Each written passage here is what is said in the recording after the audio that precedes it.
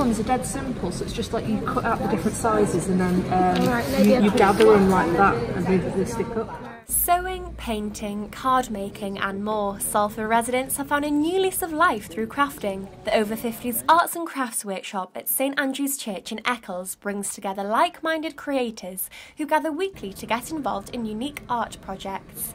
Vicky Ward, a local freelance artist from Start Inspiring Minds, runs the session every Tuesday with the hopes that more people are inspired by the art of crafting. So the, the whole environment is here for people to come try something new, talk to people and not everybody wants to join in some people are just here to, to have a chat to meet up with friends or meet with new people which is brilliant it's just here uh, there's something for you to try always something different and it's nice to have a go at doing something and take something away with you as well So there are 10 of us here at today's workshop. We are making felt succulents and it's quite a challenge, but a lot of the people here find it's more beneficial for their brain. The more of a challenge, the more therapeutic and engaging it can be. As well as being an outlet for creative expression, a recent study showed that painting, drawing and sculpting in old age lowers the risk of developing the first signs of dementia by 73%.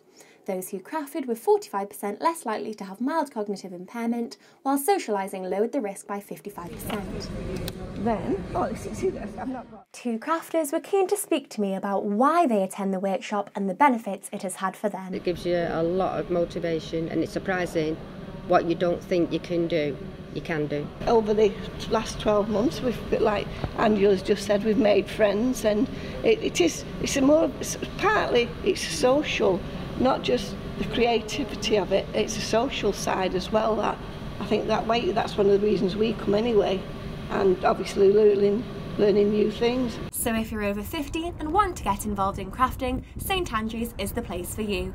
Lucy Clayton, Salford Now.